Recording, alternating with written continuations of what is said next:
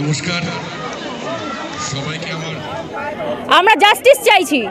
একজন নারী হিসাবে, একজন সভ্য সমাজের মানুষ হিসাবে আমরা চাই এই অন্যায় শীঘ্রই প্রতিবাদ হোক। আজ আমাদের রাজ্যে আজকে কন্যাশ্রী দিবস খুব ঘটা করে মহাসমারোহে পালিত হচ্ছে। সেই রাজ্যে আজকে, মহিলারা আজকে এরকম ধর্ষিতা হচ্ছেন, তাও আবার একজন চিকিৎসক, যেটা এটা কি একদম এটা কি একটা সভ্য সমাজের কাম্য? আর কিছুক্ষণের মধ্যেই স্বাধীনতার আটাত্তরতম বর্ষ হ্যাঁ। শুরু হতে চলেছে। তার মধ্যে যে এই যে মহিলাদের আন্দোলন আপনারা এই এই যে বিচারের জন্য করছেন তো এই বিচার যদি এখন তো সিবিআই তদন্ত চলছে তো এরপরে সিবিআই যেভাবে এগুচ্ছে আপনারা কি আশা করছেন? আমরা আশা করছি এর অতি শীঘ্রই এই তদ এই অপরাধের শীঘ্রই আর কি মীমাংসা হোক এবং অপরাধীরা শাস্তি হোক। মহিলাদের কি চাইছে? মহিলাদের মহিলারা চাইছি আমরা সর্ব কর্মক্ষেত্র কর্মজীবী যারা আছি তারা তো অবশ্যই এই ঘটনার পর থেকে সবাই আমরা শঙ্কিত। আমরা রাস্তায় বেরোতে ভয় পাচ্ছি আমরা অফিসে যেতে ভয় পাচ্ছি। যারা ঘরে আছি তারাও আমরা নিরাপত্তাহীনতায় অভাব বোধ করছি। আমরা চাই সার্বিকভাবে এর বিচার হোক আমরা নিরাপত্তা আশা করি এই সরকারের কাছ থেকে। অবশ্যই অবশ্যই এবং কর্মস্থলে আমরা যারা কর্মচারীরা যে কর্মজীবী নারীরা আছি তারা চাইছি কর্মক্ষেত্রে আমরা নিরাপত্তা আশা করছি। একটু থেমে যান। আমার নাম বর্ণালী বিশ্বাস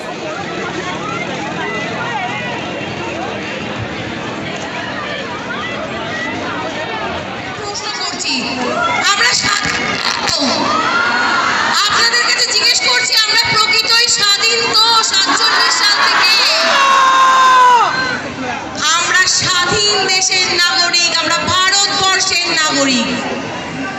আমাদের এই ভারতবর্ষে স্বাধীনতা দিবস এত আবেগের সাথে পালন করা হয় কেন জানেন? এই দেশের মাটিতে মিশে আছে শত শত শহীদের রক্ত, কি তাই তো? এই শত শত শহীদের রক্ত মিশে থাকা এই যে মাটি, এই মাটিতে মিশেছে আরজিকর হাসপাতালে। আমার দেশের, আমার ভারতবর্ষের বিভিন্ন প্রান্তের ধর্ষিত মেয়েদের রক্ত। কি আমরা স্বাধীন দেশের নাগরিক রাইট ছোট ছোট বাচ্চা মেয়েগুলো, বাচ্চা স্টুডেন্টরা কালকে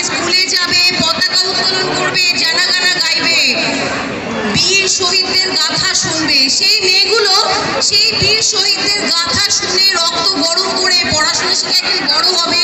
কেউ হবে ডাক্তার, কেউ হবে ইঞ্জিনিয়ার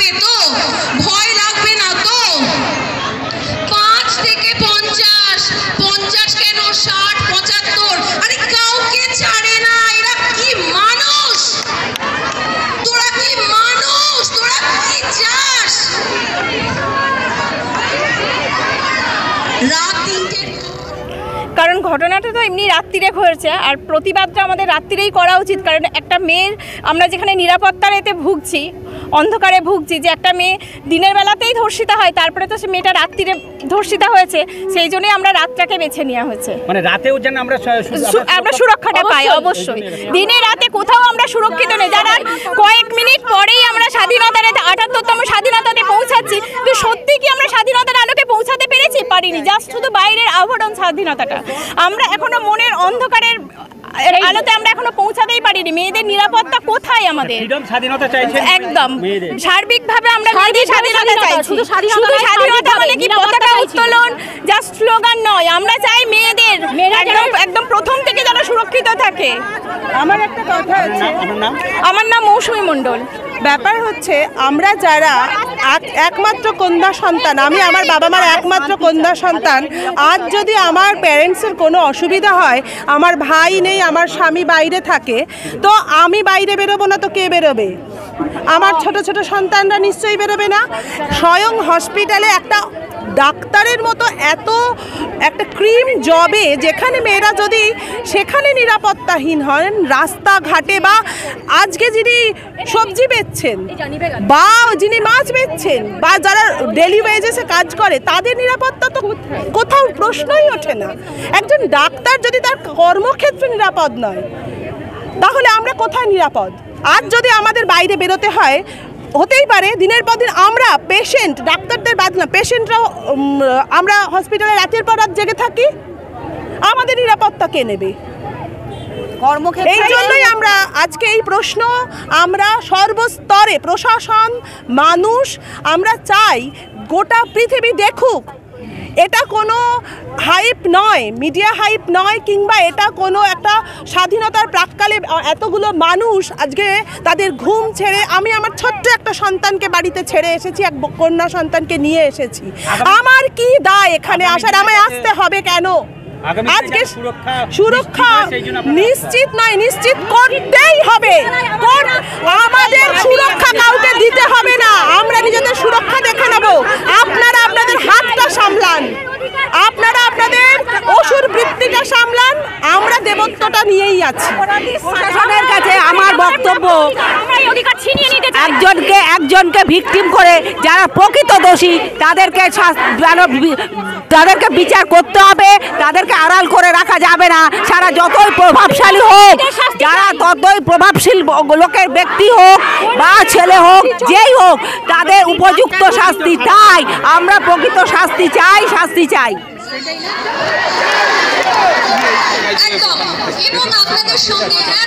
মানুষকে এক জায়গায় আমি বলার লোভ সামলাতে পারছি না।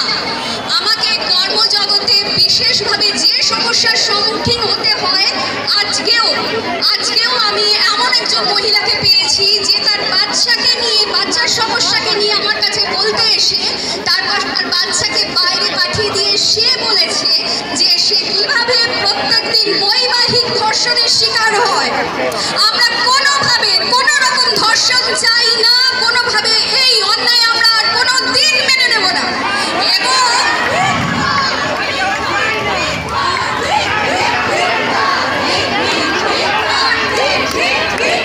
ধিক, ধিক, ধিক্কার! ধিক, ধিক, ধিক্কার! ধিক, ধিক, ধিক্কার! ধিক, ধিক, ধিক্কার!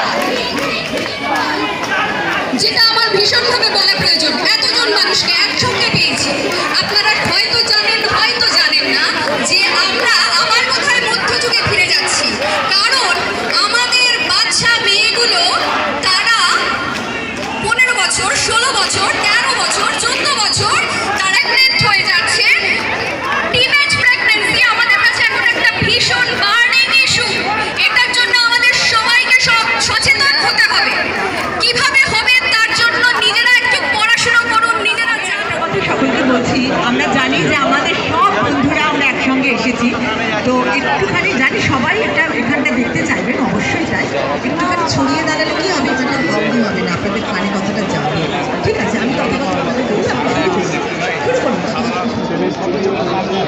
করছে না বরাবর আসবে আচ্ছা আমরা কৌশিক মাইতি কি? ঋতুপর্ণা মাইতি আছেন? ঋতুপর্ণা মাইতি? ঠিক আছে আছে। আচ্ছা, ঋতুপর্ণা হ্যাঁ, হ্যাঁ। জাতীয় পতাকা এনেছে দুজন।